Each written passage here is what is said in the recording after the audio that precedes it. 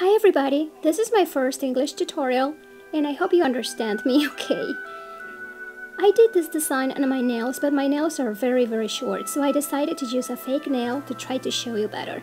And I'm using this base by Sally Hansen in like a natural color and these stickers which I purchased at Michael's. Using some top coat after applying my base, I'm applying this top coat so I'm able to apply my stickers Take in mind that uh, these stickers have glue on the other side of them, so it's gonna be a little tricky trying to put them on the nail. I'm using these tweezers and I found it.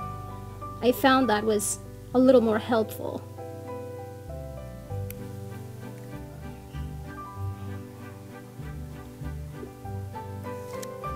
You can actually do the design that you want in any shape you want. You can um, put it only on the tip of the nail and I'm only gonna do it on one side of the nail but that doesn't matter.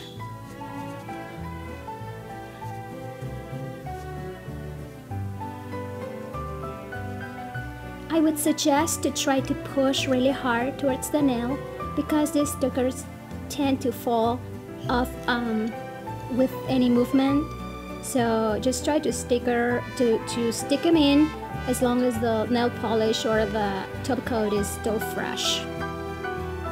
So I'm applying a little more of the top coat and I will be putting in my half pearls. These pearls I purchased at Michael's for $1.99 and I actually got a good deal. There are 72 pearls and I loved them.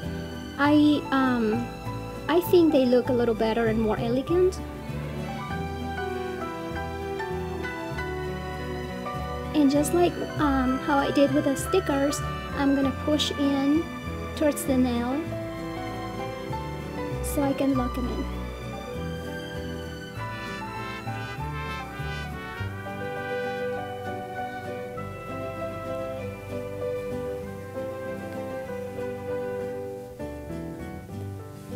I'm using this glitter. This glitter actually belonged to my kids and I purchased that at the dollar store.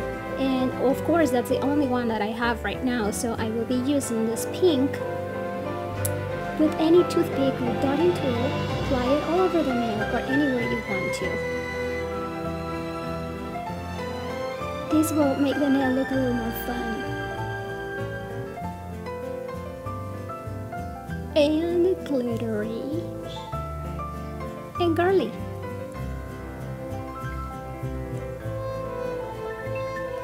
This marker is by Kiss and I purchased this at Walgreens.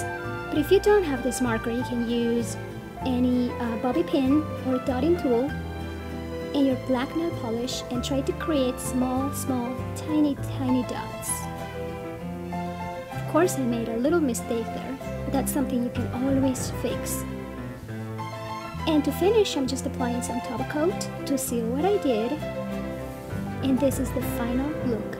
I hope you liked it and I hope you understood me okay because this is the first time I do this in English. Have a great day. Bye bye.